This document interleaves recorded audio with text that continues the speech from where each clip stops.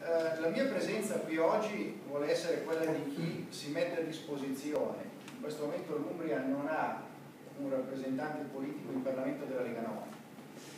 Eh, da qualche tempo eh, Salvini l'ha detto in maniera chiara, cioè il nostro percorso non può essere un percorso che dà risultati se non si riesce a convincere anche le persone che stanno fuori da, da dove la Lega è nata, in Lombardia piuttosto che in Veneto, che c'è un unico grande progetto attraverso il quale chiamiamolo federalismo, chiamiamolo identità e chiamiamo la protezione dei valori fondanti che stanno alla base delle nostre tradizioni e delle nostre storie, se non si porta la gente a riflettere e difendere questi valori a partire da questi principi, beh, assistiamo non solamente a una crisi economica, ma soprattutto a una crisi di identità. E di fronte a questo poi arriva la pialla della finanza, come sta avvenendo con l'euro, pialla via tutto, tutto livellato, siamo utili solo per pagare tasse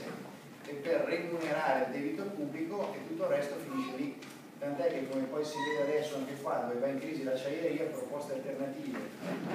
che tengano conto a partire da quello che il territorio sa dare di più, quindi le sue caratteristiche anche in termini di storia non sono mai considerate. E allora su questo sono, mi sono messo a disposizione eh, dell'Umbria, che è territorio non mio. Io non sono qui per essere eh, in sostituzione vostra, sono qui perché voi possiate, prendendo l'iniziativa, rappresentare gli Umbri aderendo a un progetto politico perché l'Umbria deve essere degli Umbri.